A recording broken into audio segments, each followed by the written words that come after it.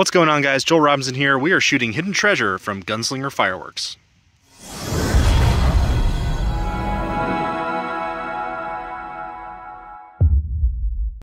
Okay, this is a 500 gram cake, 18 shots. Their performance is on the side here. It's quite a descriptive performance, so if you guys want to pause and read, you're welcome to. I'm not going to. Also, you'll notice it's fans, so let's take a look under the hood. Looks like we got a nice mix here of uh, straight fan, straight fan, straight. So, two rows of fan.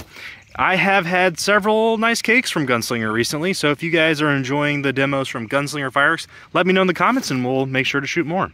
All right, let's go shoot it off.